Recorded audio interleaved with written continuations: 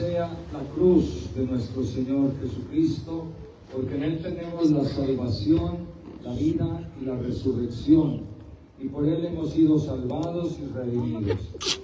Te lo cambio, Luisito. Sí, te lo cambio para este y yo por este.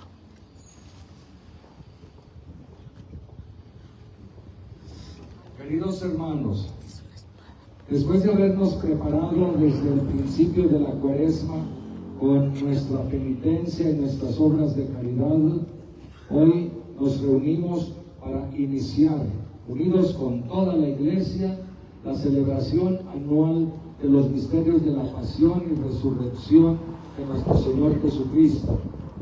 Misterios que empezaron con la entrada de Jesús en Jerusalén.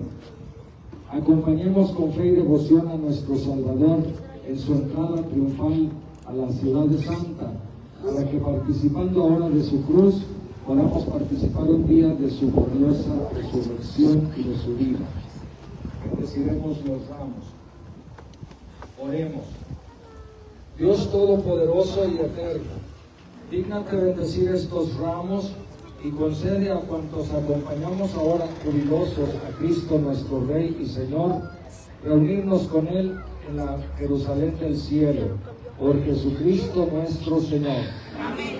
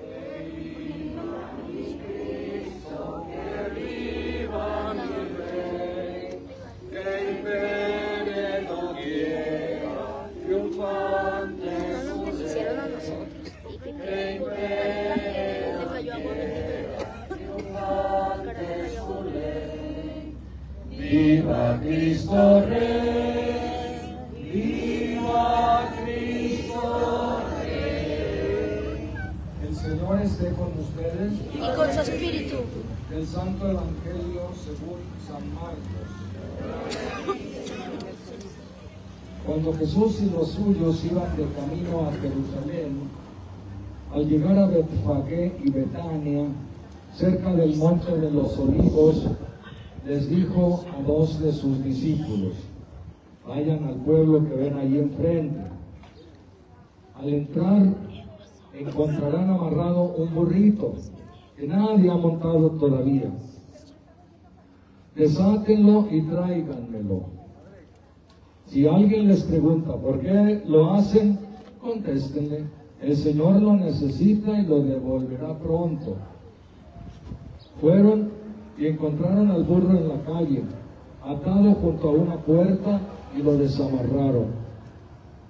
Algunos de los que allí estaban les preguntaron, ¿por qué sueltan ese burro? Ellos le contestaron lo que había dicho Jesús y ya nadie los molestó.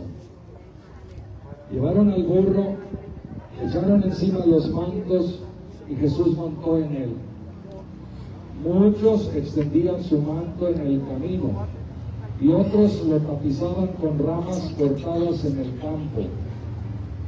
Los que iban delante de Jesús y los que lo seguían iban gritando vivas, Hosanna, bendito el que viene en nombre del Señor, bendito el reino que llega, el reino de nuestro Padre David, Hosanna en el cielo.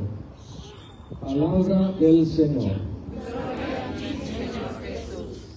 Hermanos, el protagonista del Evangelio desde luego que sigue siendo Jesús, pero hay un personaje muy curioso que si se fijaron roba cámara en este Evangelio y es nada más y nada menos que el burro. Yo creo que lo mencionan como cuatro o cinco veces, ¿verdad? El burro. Eh, esto nos, nos da pie para una reflexión que ustedes conocen, ¿verdad? el burro llegó a su casa muy contento. Su madre, al verlo tan feliz y orgulloso, le preguntó, ¿por qué tanta alegría, hijo? Madre, hoy cargué sobre mi lomo a un tal Jesucristo y cuando entramos a Jerusalén, todos me decían, Osana, viva, salve, viva, viva. Y me lanzaban flores y ponían palmas de alfombra bajo mis pies. Su madre, disimulando una sonrisa en sus labios, le sugirió, hijo, ¿por qué no vuelves mañana a la ciudad? Pero esta vez no cargues a nadie. Al otro día, el burro salió muy decidido hacia Jerusalén, pero cuando regresó a su casa venía cabizbajo, llorando, muy triste. Madre, no puede ser. Pasé desapercibido entre las personas. Nadie se fijaba en mí.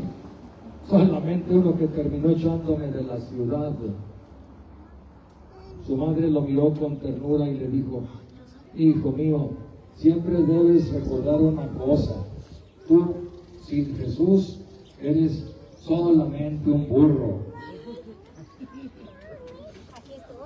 ¿Y cuál es la moraleja que pudiéramos sacar? Primeramente, ¿qué nombre le quedaría bien a este burro? De nosotros. Pues como me llamo yo, bueno, también. Antonio. Este, pudiéramos ponerle el nombre de Cristóforo, que quiere decir el que lleva a Cristo. Algunos se llaman Christopher, es igual, el que lleva a Cristo. El burro es un Cristóforo que lleva a Cristo. ¿En qué ocasiones lo cargó? Cuando todavía estaba en el vientre de su madre, en las jornadas de Nazaret a Belén, en la cueva lo calentó con su vaho, su aliento.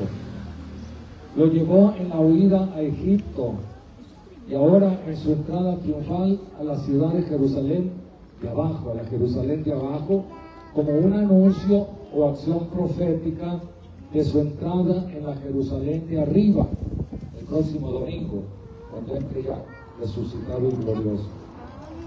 ¿Por qué se dice que no había sido montado por nadie? Porque Cristo quiere que su burro, su servidor, su discípulo, solo le sirva a Él. Entonces, nuestra vocación es transportar a Cristo y solamente a Él. Como cristianos no tenemos o no deberíamos de tener ningún otro compromiso con nadie.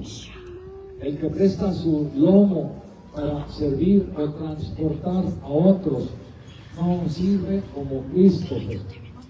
Sobre todo porque Él quiere valerse de nosotros para ir a las periferias, para estar con los pobres, los humildes, los descartados. Necesita no solo de mi lomo, también de mi inteligencia, memoria, voluntad, los dones que Él mismo me ha dado para llegar al corazón de sus hermanos. Ojalá que este Evangelio nos motive para ser cristóforos, para llevar a Cristo, especialmente en nuestro corazón, a los demás, y que su presencia entre nosotros se manifieste con la sonrisa, el saludo, el servicio, la ayuda, el perdón, así como lo hizo Cristo en su momento. Nos vamos pues a disponer para participar. ¿No han llegado las velas? Sí, ya están ahí. La cruz alta también. Bueno, adelante pues van este, la cruz alta, ciudadanos, sacerdote, los apóstoles y luego los demás por favor, este, haciendo una fila de dos en dos para que, para que se note, para que se crea que somos muchos.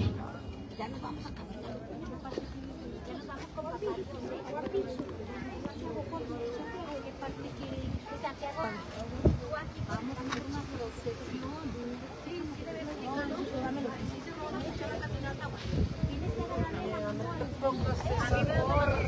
ratito Aquí está con ¿Usted se apoya con ella?